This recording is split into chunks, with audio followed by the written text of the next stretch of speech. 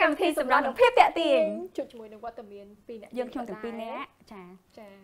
មានអារម្មណ៍មានអារម្មណ៍ថ្ងៃហ្នឹងនឹកប្លែកប្លែកប្លែកនឹងឯងហើយចាញ់ថាកម្មវិធីរបស់យើងគឺតែងតែថ្មីរហូតសម្រាប់បងប្អូនថ្មីទាំងនិយាយទៅថ្មីទាំងប្រធានបទគឺថ្មីទាំងតារាកិត្តិយសហើយថ្ងៃហ្នឹងមានអារម្មណ៍ថាលឺលហៀងលហៀងថាតារាកិត្តិយសយើងតិចបយបយបយ ឆ្នាំមើលបងប្អូនពេលណាដែលជួបកើកើអីចឹងពួកខ្ញុំរៀងស្គត់សង្គមមិនសូវធ្វើខ្លួនទេតែរបៀបជួបបយបយរៀងសំយះអីចឹងសំខាន់គេពាក់សពុតមកដូចគ្នាដូចគ្នាហ្មងគ្នាចឹងនឹងឯងចឹងឥឡូវកុំឲ្យខាត់ពេលយូរចង់ដឹងថាតារាកិត្តិយសយើងជាណាគេហើយគាត់មកចែករំលែកពីអីតោះឥឡូវយើងជួយមួយគាត់ទាំងអស់គ្នាវាសួ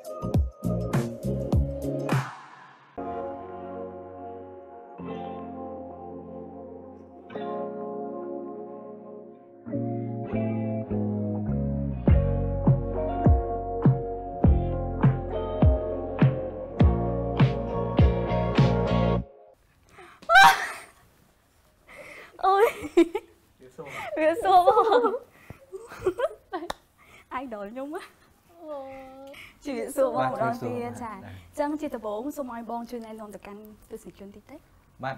ជាដំបូងខ្ញុំសូមជម្រាបសួរដល់ពុកម៉ែបងប្អូនទាំងអស់គ្នាដែលបានកំពុងតាមដានស្ដាប់តាមដានមើលនៅកម្មវិធីតាមដាននៅមើលនៅក្នុងកម្មវិធីនេះឯងហើយថ្ងៃនេះខ្ញុំសប្បាយចិត្តទីមែនទែនដែលបានចូលរួមក្នុងកម្មវិធីជាមួយនឹងពិធីករដ៏ស្រស់ស្អាតទាំងពីររូបបាទហើយពុកម៉ែបងប្អូនទាំងអស់គ្នាប្រហែលជាបានស្គាល់ខ្ញុំខ្លះខ្លះមកហើយគឺខ្ញុំឈ្មោះថៃបាទ មិនមែនជនជាតិថៃទេតែម៉ែខ្ញុំដាក់ថៃដោយសារតែខ្មែរយើងចូលចិត្តដាក់ឈ្មោះស្តៀងស្តៀងគ្នាបងខ្ញុំឈ្មោះធូដល់ពេលខ្ញុំឈ្មោះថៃធូថៃចន្ទ្រីចន្ទ្រាជីអ្នកចក់អញ្ចឹងសុំហៅសុំហៅប្រើបាទទៅហៅហើយ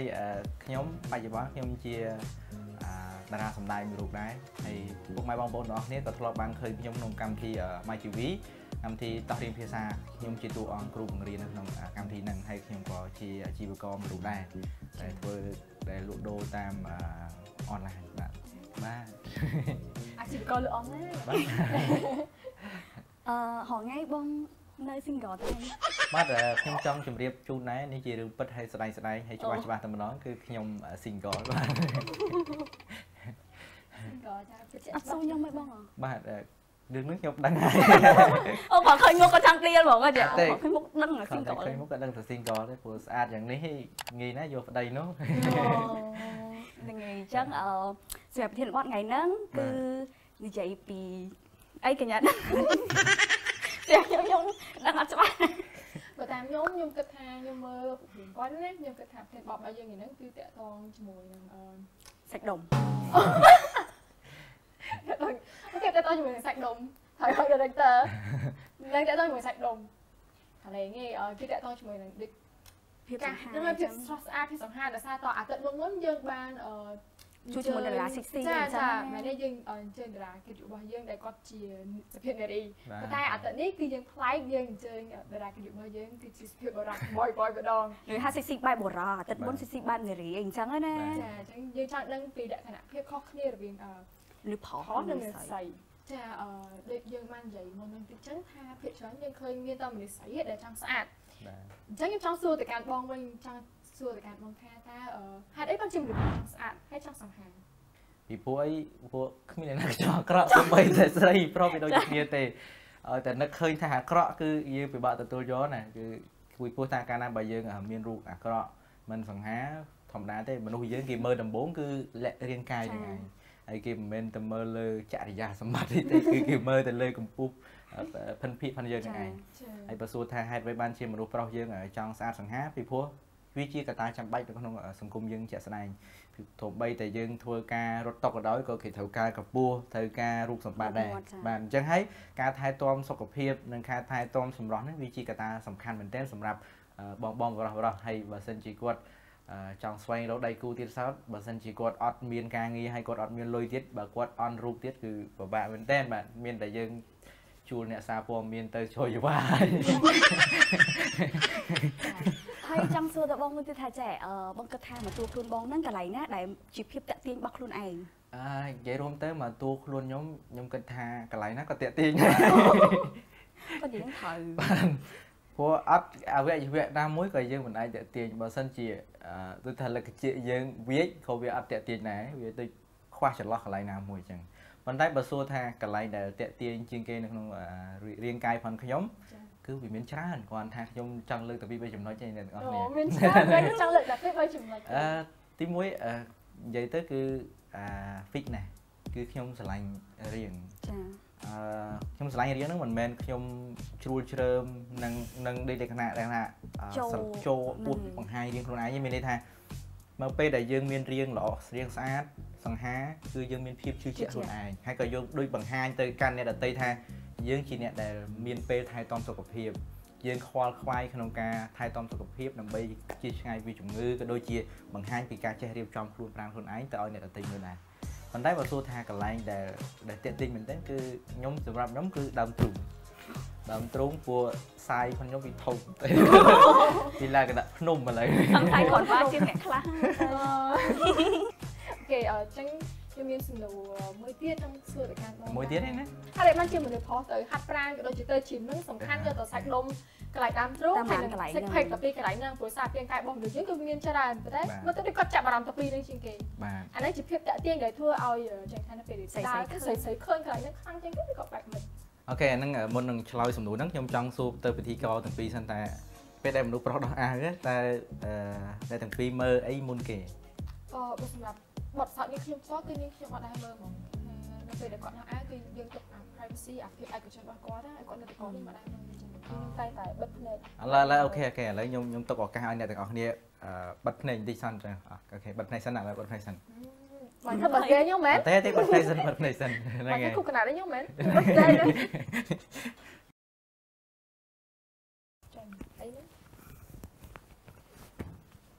ខ្ញុំសៀវអីសៀវវិញ អូខេអ្នកទាំងពីរអាចបើកភ្នែកវិញបានហើយមើលមកខ្ញុំផងមែនតើអូយឥឡូវមើលមកខ្ញុំកន្លែងណាដែលអ្នកទាំងពីរគិតថាតាក់ទាញជាងគេអាកន្លែងនោះដូចគ្នាអូយអូស្មកគេហាត់កន្លែងហ្នឹងមែនណាខ្ញុំឃើញតែសាច់ដុំដើមធំគាត់មានអារម្មណ៍ថា ភ័យសបល់អូខេឥឡូវឥឡូវឃើញណាហើយឃើញបន្ទាប់ពីឃើញហើយអ្នកទាំងពីរអាចឆ្លើយសំណួរខ្ញុំវិញបានតែហេតុអ្វីបានជាមនុស្សស្រីគាត់មើលកន្លែងហ្នឹងជាងគេហើយកន្លែងណាអូខេបើតាមខ្ញុំដល់ពេលដែលគាត់ថាអាយវិញខ្ញុំចាប់អារម្មណ៍ខ្លាំងជាងគេព្រោះគាត់បង្ហាញកន្លែងហ្នឹងហ៎ខ្ញុំឃើញតែកន្លែងដើមធំគាត់ហ្នឹងសាច់សាច់ណែនណែនមកមើលឡើងអើយឆាពណ៌នេះ ចុះកញ្ញាវិញមិនដែរឡើងនិយាយលេងចេញហីដល់ឡើងនិយាយលេងចេញហីនិយាយលេងចេញហីអត់ទេមានអារម្មណ៍ដូចគ្នាមានអារម្មណ៍ថាអឺដែលស្ដាប់បទអីគេសុដនហើយគឺថាវែងឆ្ងាយមកកញ្ញាហ្នឹងហើយនេះជាមូលហេតុដែលមនុស្សប្រុសយើងគាត់តែងតែហាត់ប្រាណចង់បានដើមទ្រូងហើយនិង six pack ពីព្រោះអីបើនិយាយពីដើមទ្រូងហើយនិង six pack គឺពីមានភាពតាក់ទាញដូចដូចគ្នា គ្រាន់តែថាបើសិនជាមនុស្សស្រីគាត់បើសិនជាមនុស្សប្រុសគាត់ពាក់អាវដើមទ្រូងវាសំខាន់ជាង six pack ពីព្រោះធ្វើឲ្យគាត់ហ្នឹងមើលទៅមានធំហើយសង្ហាមែនទែនដើមទ្រូងគាត់ពីធំប៉ុន្តែបើសិនជានៅពេលដែលគាត់ដោះអាវគឺมันអាចក្បាលពោះប៉ោងបានទេចង់ថាបើចង់ឲ្យមានរៀង attractive ពីភាពតាក់ទាញពីចង្កេះគាត់មកគឺត្រូវការអា six page ជាមួយនឹងអាអា gain គៀននេះគឺវាវាលក្ខណៈ ជីងជាចអូមកណាអញ្ចឹងកាយវិការខ្ញុំរៀនអញ្ចឹងចង់សួរបងជាក់ថាទៅមកបងហាត់បានសាក់ដុំធំប៉ុណ្ណឹងណាសាក់ដុំដុំធំប៉ុណ្ណឹងបងប្រហែលពេលអស់មួយឆ្នាំឬក៏រយៈពេលអស់ខែក៏ប៉ុន្តែការហាត់ប្រាណវាអត់ទៀមទាលើរយៈពេលប្រហែលទេការហាត់ប្រាណវាទៀមទាលើរបបអាហារនិងការហាត់ផងយើងបើសិនជាសែនរបស់មនុស្សយើងគេបែងចែកសែន2សែនធាត់និងសែនស្គមសែនធាត់មានន័យថាហាត់តែក្លិនក៏ធាត់ដែរ គាត់ញ៉ាំអីតែបន្តិចក៏វាធាត់ដែរអញ្ចឹងអញ្ចឹងការហាត់ផនគាត់តែកម្រិតនៃការហាត់ផនគាត់តែ40%ទេអញ្ចឹងរបបអាហារផនគាត់គឺ60%អញ្ចឹងគាត់ហាត់មួយថ្ងៃគឺគាត់ហាត់អត់ច្រើនទេប៉ុន្តែគាត់មកវិញគឺគាត់តមអាហារច្រើនអញ្ចឹងរបបអាហាររបស់គាត់គឺសំខាន់ជាងការហាត់ប្រាណទៅទៀតទី2សេនស្គមសេនស្គមដូចខ្ញុំពួកសេនស្គមសេនស្គមនោះមានប្រភេទពីរទៀតសេនស្គមដែលជាប់ខ្លាញ់និងសេនដែលអត់មានខ្លាញ់ ដូចខ្ញុំអញ្ចឹងខ្ញុំប្រភេទខ្ញុំតម្រង់សាច់ផងខ្ញុំស្គមតែអត់មានជាតិខ្លាញ់ទេអត់សូវមានជាតិខ្លាញ់ទេនៅពេលដែលយើងទៅហាត់ប្រានយើងហាត់100យើងញ៉ាំ100ញ៉ាំឲ្យឡើងគីឡូដើម្បីយកអាសាច់អាសាច់ដែលឡើងហ្នឹងយកមកប៉ះពៅកន្លែងដែលយើងចង់បានហើយចំពោះខ្ញុំព្រោះខ្ញុំសាច់ដែលខ្ញុំចូលជីមតែហ្មងគឺតែ7ខែទេហើយចំពោះមនុស្សស្រីហើយមនុស្សប្រុសយើងក៏អត់ដូចគ្នាដែរការហាត់បានហើយចង់សួរទៅបងមួយទៀតថាចាសម្រាប់របបអាហារដែលបងញ៉ាំ ភាគច្រើនរបៀបជាអីខ្លះចឹងបងជួយណែនាំតិចទៅព្រោះរបៀបលក្ខណៈចេះរបបអាហារខ្លះញ៉ាំទៅដើម្បីរក្សាសាច់ដុំអីចឹងចាំនឹងថាមួយទៀតសម័យបច្ចុប្បន្នខ្ញុំឃើញគេភាគច្រើនគេចិត្តញ៉ាំបែបប្រូតេអ៊ីនបាទប្រូតេអ៊ីនប្រូតេអ៊ីនអានេះវាអាចមានផលប៉ះពាល់អីឬក៏មិនអឺក៏ប៉ុន្តែសំណួរហ្នឹងខ្ញុំសំណួរល្អមែនតើហើយក៏ខ្ញុំចង់ឆ្លើយសំណួរហ្នឹងតាំងពីយូរយើងណាស់ហើយប៉ុន្តែគ្មានអ្នកណាសួរអឺចំពោះខ្ញុំខ្ញុំហាត់ហាត់ ខ្ញុំហាត់បែប natural workout មានន័យថាយើងហាត់បែបធម្មជាតិគឺអត់យើងអត់ប្រើប្រាស់ប្រូតេអ៊ីនទេ មានន័យថាយើងគឺអត់ប្រើប្រាស់ប្រូតេអ៊ីនទៅទិញប្រូតេអ៊ីនមកញ៉ាំទេគឺយើងយកអាលុយដែលទិញប្រូតេអ៊ីនហ្នឹងមកធ្វើប្រូតេអ៊ីនខ្លួនឯងវិញអាហារដែលខ្ញុំញ៉ាំដោយច្រើនបើថ្ងៃគឺខ្ញុំញ៉ាំពងមាន់យ៉ាងតិចណាស់ក៏ជិត10គ្រាប់ដែរមួយថ្ងៃតែបងមានចាំមាន់អត់ទេយើងទៅកន្លែងកន្លែងលក់ពងយើងកន្លែងលក់ពងហ្នឹងទៅយើងទៅមកសូម្បីតែយើងយកពងហ្នឹងមករៀបគេអញ្ចឹង ខ្ញុំយកពងមាន់3គ្រាប់អញ្ចឹងក៏លុកជាមួយនឹងទឹកពោឆៅហើយយើងញ៉ាំទៅអូញ៉ាំឆៅបងញ៉ាំឆៅតែហ្មងហើយសម្រាប់អាហារដែលអ្នកចង់ឡើងគីឡូវិញដូចពួកខ្ញុំអីបើសិនជាចង់ឡើងគីឡូបែបសាច់ smooth ហើយយើងអត់ជាប់ខ្លាញ់មានន័យថាវាកាត់វាលេងកាត់កាត់ដាច់ស្អាតហ្មងគឺយើងខ្ញុំយកញ៉ាំទ្រូងមាន់ទ្រូងមាន់គឺសំខាន់បំផុតសម្រាប់អ្នកហាត់ប្រាណហើយនឹងពងអឺទ្រូងមាន់បាទពងមាន់ អឺពេលខ្លះទ្រូងមាន់អ្នកខ្លះគាត់គាត់អត់ដឹងគាត់អត់ដឹងពីតិចនិចនៃការធ្វើគាត់យកទៅចៀនចៀនហើយចៀនទៀតចៀនហើយចៀនដល់ទៅពេលវាតលន់កាលកាលណាបើតលន់គាត់ឈប់ញ៉ាំហើយគាត់ឈប់ញ៉ាំគាត់បែរទៅរកញ៉ាំឲ្យផ្សេងការពិតទៅវិធីដែលយកទ្រូងមាន់យកមកធ្វើមានច្រើនដូចខ្ញុំអញ្ចឹងបើសិនជាថ្ងៃហ្នឹងខ្ញុំឆាទ្រូងមាន់យើងតលន់ហើយយប់ឡើងខ្ញុំចង់ពៅទ្រូងមាន់3សម្រាប់លេងទ្រូងពេលដែលយើងហាត់មនុស្សប្រុសពេលដែលយើងលេងទ្រូងគឺយើងត្រូវការទ្រូងមាន់សម្រាប់ពៅអូ ជំនឿថាដើម្បីចាប់បានទ្រូងមនុស្សស្អាតគឺយកទ្រូងមាន់ញ៉ាំទ្រូងពៅទ្រូងបាទពៅទ្រូងដូចញ៉ាំពងពៅពងតែអានោះផ្សេងអានេះខ្ញុំអត់បោះស្រាយទេហើយដល់ទៅពេលយើងយកទ្រូងមាន់នេះយើងយកមកស្ងោរយើងស្ងោរឲ្យឆ្អិនមកយើងបេះវាស្ដើងស្ដើងស្ដើងដាក់ម៉ាស៊ីនក្លុកយើងដាក់ជាមួយចេកដាក់មួយពងមាន់ដាក់ជាមួយ គេញ៉ាំបែប smoothie ដូចទឹកក្លុកញ៉ាំដូចទឹកក្លុកចឹងប៉ុន្តែអ្វីដែលបងឯងនិយាយខ្ញុំគិតថាគេអាចយកស្ងោរហើយជ្រលក់ជាមួយទឹកស្អ៊ឺក៏អាចប៉ុន្តែដាក់មួយខ្ញុំមកហ្នឹងនៅពេលក៏បកស្រាយមកគឺយើងយើងយកវាមកក្លុកធ្វើទឹកក្លុកវិញដើម្បីយើងញ៉ាំទៅវាមានប្រូតេអ៊ីនខ្ពស់ពីព្រោះអីខ្ញុំអត់ហ៊ាននិយាយថាប្រូតេអ៊ីនអត់ល្អហើយប្រូតេអ៊ីនវានៅតែល្អអញ្ចឹងប៉ុន្តែសួរថាអ្នកទាំងអស់គ្នាប្រើប្រូតេអ៊ីនគឺចង់បានអី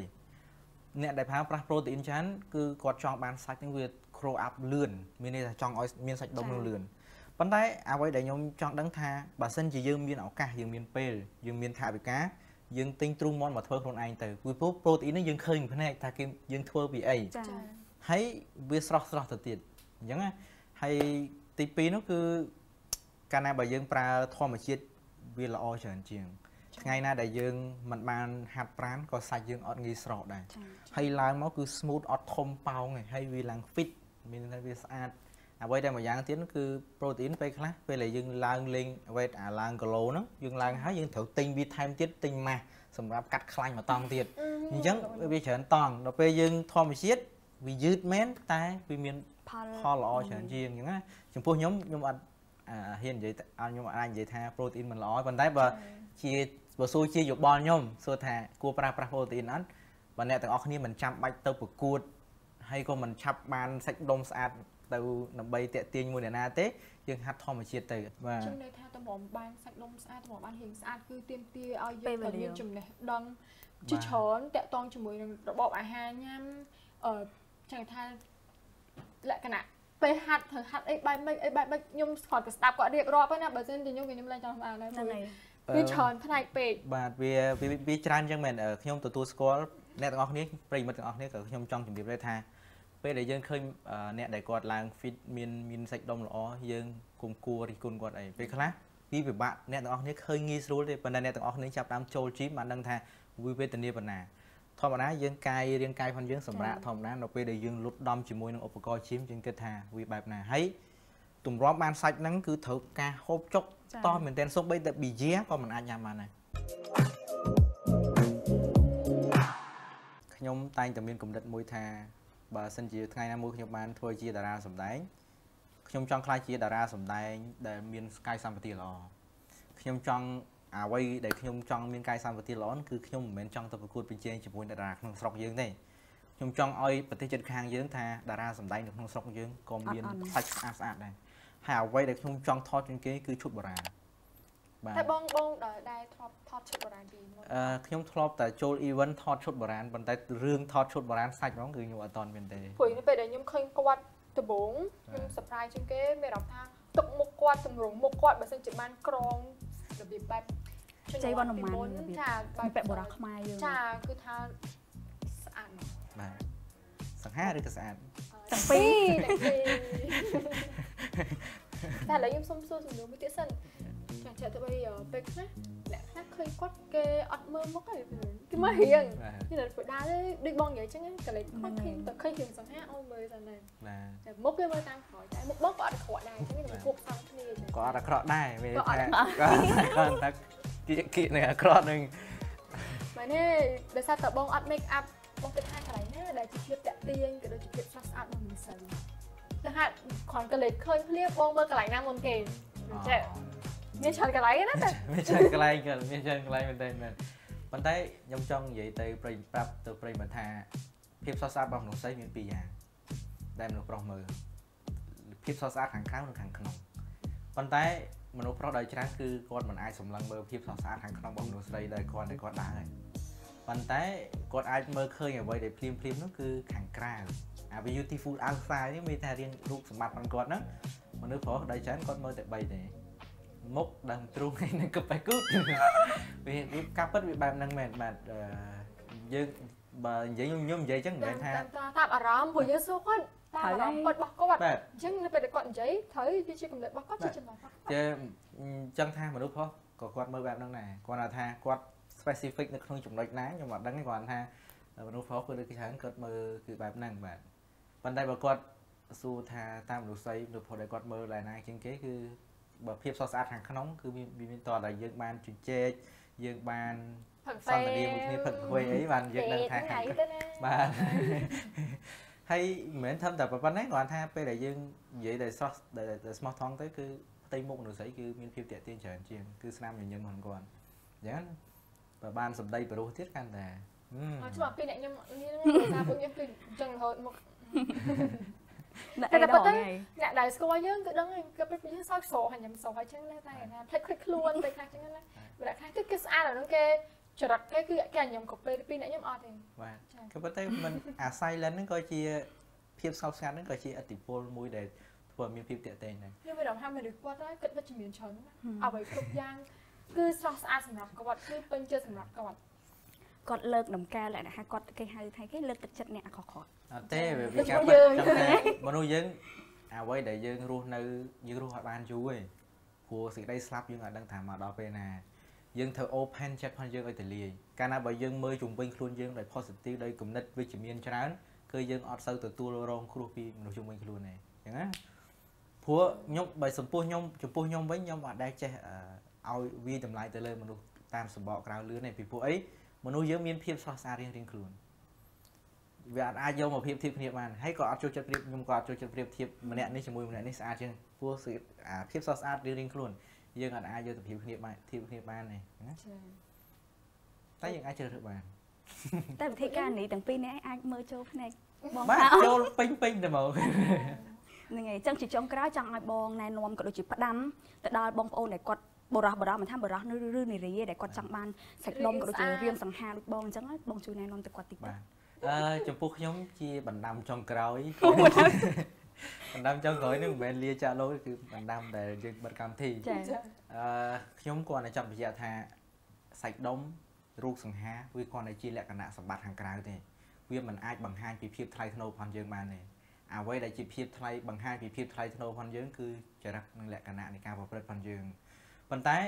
យើងរស់នៅក្នុងសង្គមក៏ទាមទារលក្ខណៈរូបសម្បត្តិខាងក្រៅនឹងដែរសម្រាប់រស់នៅក្នុងសង្គមយើងត្រូវចេះឆ្នៃអ្វីដែលដែលមានឲ្យអស់ពីលទ្ធភាពមនុស្សយើងដោយច្រើនគឺតែងតែកកើតមកភ្លាមបញ្ជូនកូនទៅរៀនដល់ថ្នាក់ទី12បញ្ញាបត្រអនុបណ្ឌិត PhD ប៉ុន្តែសួរថាមានម្ដាយឪពុកណាដែលជំរុញកូនឲ្យវិវត្តលុតដំរាងកាយឲ្យអស់ពីលទ្ធភាពមុនស្លាប់ទេអត់ទេគាត់តែងតែជំរុញកូនគាត់ឲ្យអភិវឌ្ឍ ចំណេះដឹងផងគាត់ឲ្យដល់ទីបំផុតប៉ុន្តែរាងកាយផងគាត់អត់ដែលវិវត្តឲ្យដល់ទីបំផុតទេយើងដែលសម័យថារាងកាយរបស់មនុស្សប្រុសយើងអាចឆ្នៃបាននឹងរូបសង្ហាផងយើងរាងកាយផងយើងតើឆ្នៃឲ្យសង្ហាបែបយើងនឹងដោយរបៀបណាទេយើងអត់ដែលគិតទេយើងគិតថាយើងវាមិនស្អាតកម្មពិតទៅភាពស្រស់ស្អាតផងយើងមានគ្រាន់តែយើងមិនឆ្នៃឲ្យអស់ពីលទ្ធភាពបើយើងឆ្នៃយើងយើងអត់តន់ឆ្នៃផងរឿងអីថាយើងដឹងថាយើងធ្វើបានមិត្តភក្តិខ្ញុំគាត់ថាខ្ញុំមិនអាចខ្លាយជាតារាបានទេ ពីព្រោះឲ្យមុខខ្ញុំអាក្រក់ហើយស្គមទៀតដូចជក់ម៉ាចឹងតែខ្ញុំខ្ញុំចង់ឆ្នៃខ្លួនឯងសិនពេលដែលឆ្នៃខ្លួនឯងឲ្យដល់ចំណុចហ្នឹងបានយើងដឹងថាតើភាពស្រស់ស្អាតយើងនៅកន្លែងណាបើអ្នកដតីក៏មើលមិនឃើញពីភាពស្រស់ស្អាតផងយើងក៏យើងមានភាពស្រស់ស្អាតខ្លួនសម្រាប់ខ្លួនឯងដែរតែទាំងអស់គ្នាកុំកុំកុំកុំលឹះពេកមានន័យថាកុំលឹះពេកហ្នឹងគឺថាកុំយកពេលវេលាផងខ្លួនឯងដូរយកទ្រព្យសម្បត្តិរហូតដល់បាត់បង់សុខភាព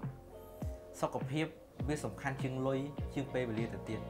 កាលណាបើអ្នកទាំងអស់គ្នាបាត់បង់សុខភាពហើយពេលវេលានិងទ្រព្យសម្បត្តិអ្នកទាំងអស់គ្នាវាហាក់បីដូចជារបស់គ្នាប្រយោជន៍ទៅសោះពីព្រោះឯបែបហ្នឹងកាលណាបើយើងមានពេលវេលាហើយយើងមានលុយតែយើងខំប្រឹងញ៉ាំយើងខំប្រឹងធ្វើឲ្យខ្លួនឯងនឹងបាត់បង់សុខភាពស្មើនឹងការសម្លាប់ខ្លួនឯងពីមួយថ្ងៃទៅមួយថ្ងៃ ឃាតករដែលសម្លាប់យើងជាងគេគឺខ្លួនឯងហ្នឹង